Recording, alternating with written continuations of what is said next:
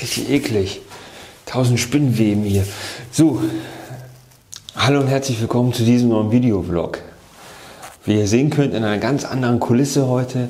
Ja, ich bin, ähm, ja, wo bin ich denn? Ich bin bei David im Keller und ihr hört es wahrscheinlich schon am Schall. Und ähm, wo ich diesen Keller, den habe ich erst vor zwei, drei Wochen gesehen gehabt. Da ich so, David, boah, der ist ja voll groß. Also relativ groß. Ne? Der hat jetzt ungefähr eine Breite, glaube ich, von dreieinhalb Meter mal, ja, man kann auch sagen vier Meter, dreieinhalb Meter ungefähr. Und das ist ein ziemlich, ziemlich großer Keller. Und ähm, ich hätte mich damals wirklich riesig über so einen Kellerraum gefreut. Wahrscheinlich wäre es dann auch meine YouTube-Werkstatt gewesen, ich weiß es nicht. Ich hatte ja damals einen Keller gehabt von 2 x 2 Meter. Übrigens für alle Neulinge hier, herzlich willkommen. Das ist hier mein Zweitkanal, die Holzkiste. Das ist einfach so ein, ja, so ein Vlog-Kanal, so ein Sabbelkanal, mein Hauptkanal. Da findet ihr wirklich die richtigen Projekte, den werde ich euch mal hier oben verlinken. Könnt ihr bei Bedarf mal vorbeischauen oder vielleicht habt ihr den sogar schon abonniert. Ja, warum drehe ich heute diesen Vlog? Ähm, ihr habt wahrscheinlich gemerkt, in der letzten Zeit kamen wirklich ja, sehr, sehr wenige Vlogs auf meinem Zweitkanal hier online. Unter anderem auch mal ein, zwei Sachen, die vielleicht nicht so wirklich mit dem Bauen zu tun gehabt haben. Und das lag einfach daran, ich hatte im Sommer angefangen gehabt mit David die große Möbelserie für seine erste eigene Wohnung. Darüber gibt es auch eine Playlist. Und äh, das hat wirklich sehr, sehr viel Zeit in Anspruch genommen. Ich habe dort ähm, ja, wirklich den ganzen Sommer verbracht, um David seine Möbel zu bauen. Beispielsweise so ein TV-Zeitboard, das baut man nicht so einfach mal eben am Wochenende, sondern da brauchst du drei Wochenenden für. Und deswegen kam hier auf diesem Zweitkanal so wenig Videos zustande. Des Weiteren muss ich natürlich auch noch für meinen Hauptkanal Videos produzieren oder darf, muss, muss ich ja gar nicht, aber ähm, das Ganze so ein bisschen, ja, das hat ganz schön viel Zeit in Anspruch genommen. Ne? Und äh, deswegen gab es hier auf diesem Kanal weniger Videos.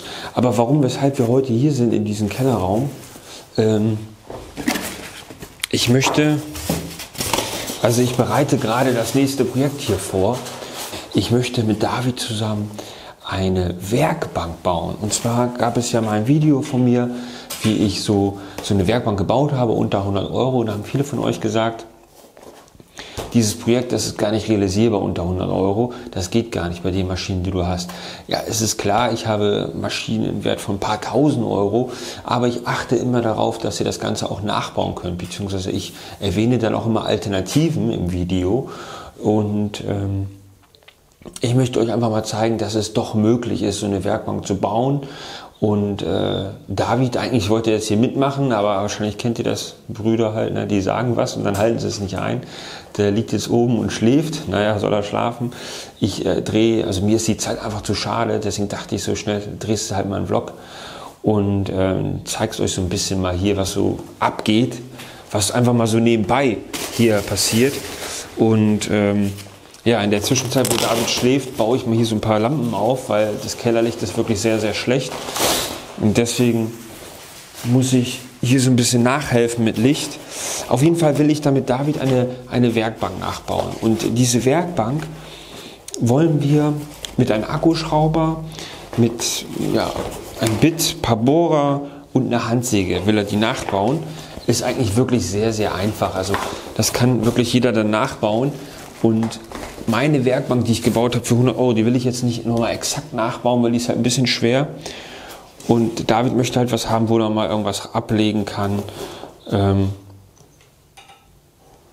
ja, wo er mal was ablegen kann, was halt nicht so schwer ist. Und ähm, wenn er mal aussieht, dass er das halt auch transportieren kann. Und so eine große Werkbank, die ich gebaut habe, die ist doch schon etwas schwer. Und ähm, Deswegen bauen wir diese exakt nicht nochmal nach. Aber ihr könnt die wirklich mit Handwerkzeugen nachbauen. So, wir verwenden jetzt hier zum Beispiel eine, eine japanische Zugsäge, ein 90 Grad Winkel, ein Bleistift, ein Akkuschrauber, ein Exzenterschleifer oder Multischleifer. Den müsst ihr nicht verwenden. David sagte aber, er möchte das Holz schön glatt haben. Deswegen habe ich den mitgebracht.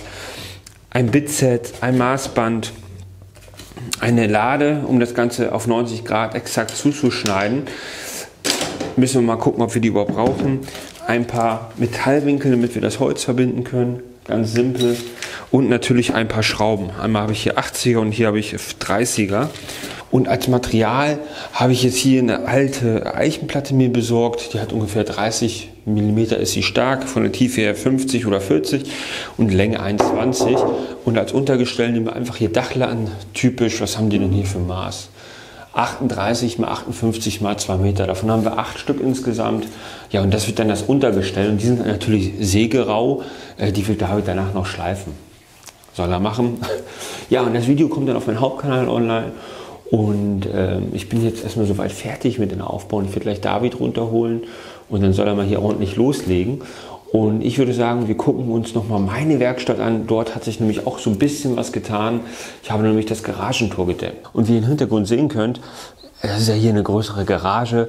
Und äh, meine Freundin sagt immer, ja, geh in deine Garage. Die sagt nicht Werkstatt, sondern Garage. Nee, das sagen mehrere Leute zu mir immer. Ich will jetzt keine Namen nennen. Ähm, ich habe jetzt dieses Garagentor einfach gedämmt. Das wollte ich schon letztes Jahr machen. Ich bin einfach nicht dazu gekommen. Ich hatte überlegt gehabt, ob ich so spezielle Matten nehme, die so beschichtet sind und so weiter und so fort. Aber wie immer mein Spruch, das ist hier ein Mietobjekt und ich will hier nicht so viel Geld investieren. Deswegen habe ich mir einfach so ein paar Styroporplatten besorgt, mit Silikon rangeklebt. Silikon kann ich wieder von diesen Metallen später entfernen und ich kann das wieder so rückstandslos hinterlassen, wie ich es vorgefunden habe. Ich denke, das sind jetzt 30 mm Styroporplatten und ich habe ja auch ein Thermometer hier bei mir. Aktuell haben wir jetzt hier 13 Grad, obwohl die Heizung aus ist. Ich glaube, draußen sind es vielleicht, ich weiß es nicht, 5 Grad, 7 Grad. Und ich bin mal wirklich gespannt, ob das Ganze, was ich hier gemacht habe, ob das was bringt. Aber ich gehe mal ganz, ganz stark davon aus. Und dann habe ich hier in meinem zweiten Raum, Akku ist noch voll. Oh jetzt zu dumm, so einen Akku rauszuziehen. So, den muss ich noch mitnehmen. Dann habe ich in meinem zweiten Raum, ihr habt es wahrscheinlich gesehen auf meinem Instagram-Account, da habe ich jetzt die Werkbank gekürzt. Da gab es auch viele Diskussionen. Ähm, Thema Werkbank. Da habe ich nämlich die Werkbank zu Ende gestellt und da meinten die viele, oh, so eine Aluplatte, die kostet doch schon viel mehr als dieser ganze Tisch die Aluplatte, ich habe gesagt, ihr könnt eine Aluplatte draufsetzen. Die hat eigentlich nichts mit diesem Projekt zu tun gehabt. Beziehungsweise, ich habe ja gesagt, die Werkbank kostet 100 Euro. Das stimmt auch. Ich habe für Holz habe ich 80 Euro bezahlt, für die Schrauben 3 oder 4. Für den Leim kann man sagen 5 Euro. Das heißt, diese ganze Werkbank könnt ihr nachbauen unter 100 Euro und die Aluplatte, die könnt ihr alternativ mit draufsetzen. Natürlich kostet eine Aluplatte wahrscheinlich 50, 60 Euro. Und dann, was ich noch so ein bisschen komisch fand, der Tisch hat ja gekippelt anfangs. da meinten viele, danach hat er nicht mehr gekippelt. Da meinten viele, ja, warum hast du nicht gezeigt, wie du das Kippel beseitigt hast? Ähm, Jungs, der, der, Tisch hat gekippelt, ja. Aber weil der Boden, weil die Fliese irgendwie schief war oder was weiß ich, ich habe den Tisch anders hin platziert und dann hat er nicht gekippelt. Was soll ich denn da großartig zeigen, dass das nicht kippelt oder was weiß ich? So, ich habe aber diesen Tisch jetzt, der war Höhe 99 cm. Das finde ich einfach zu groß, wenn ich an einem Schraubstock arbeite. Ihr müsst bedenken, 99 plus Schraubstock, dann bin ich ja irgendwann hier. wenn ich mit einer Pfeile arbeiten will, das ist einfach definitiv zu hoch. Ich habe den jetzt einfach auf 80 cm gekürzt, äh, tiefer gelegt, also 10 cm weniger oder 9 und ähm, das ist jetzt einfach, deshalb auch die, die Aluminiumplatte, das ist jetzt einfach hier so eine meine Metallecke, wo ich mal Metall was abflexe, wo ich vielleicht mal was schnell zusammenschweißen kann, wo jetzt einfach nicht so viele brennbare Stoffe rumliegen. Okay, hier ist ein Karton, der kommt demnächst weg. Dann habe ich hier mal eine kleine Cup-Station hingestellt. Ne? Das will ich einfach hier platzieren, damit ich, wenn ich mal irgendwie Metall zuschneiden muss, dass ich das ganz schnell hier machen kann und nicht immer nach draußen gehen muss, weil der Winter steht ja vor der Tür und irgendwann wird ja auch draußen Schnee liegen und dann werde ich wahrscheinlich gar nicht mehr rausgehen, weil es viel zu kalt ist. Und ich habe ja diesen Platz, auch wenn jetzt hier links alles vollgestellt ist mit Werkzeug, da werde ich auch demnächst alles ähm, unterbringen und sortieren. Ja, und den Tisch habe ich jetzt auch ein bisschen gekürzt, äh, diesen Tisch, diese Werkbank. Und äh, mehr ist eigentlich gar nicht hier passiert ne, in meiner Werkstatt. Also ich habe hier tausend Sachen rumliegen, wie immer 10.000 Projekte. Die Projekte gehen wirklich nie aus. Aber ähm, ja, ihr könnt einfach gespannt sein. Es werden richtig, richtig tolle Projekte demnächst kommen.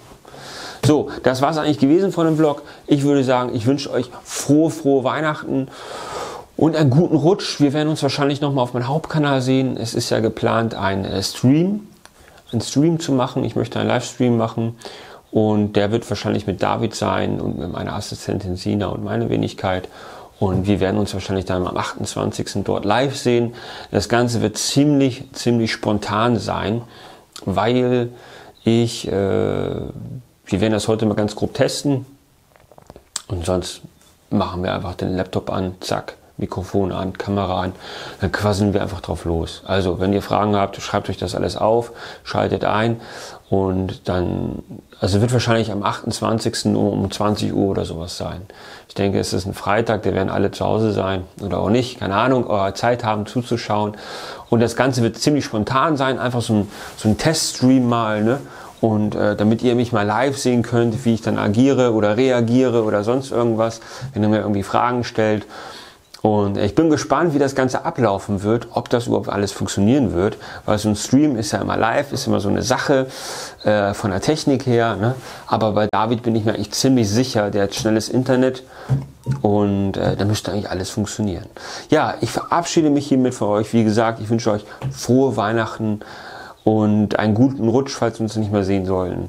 Und ich denke, das wird ja auch dieser letzte Vlog gewesen sein von 2018. Es war wirklich eine tolle, tolle Zeit mit euch. 2018 haben wir wirklich eine Menge gerissen.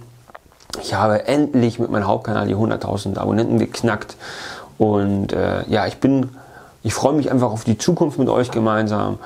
Und äh, bis zum nächsten Jahr oder bis ins nächste Jahr 2019. Ciao.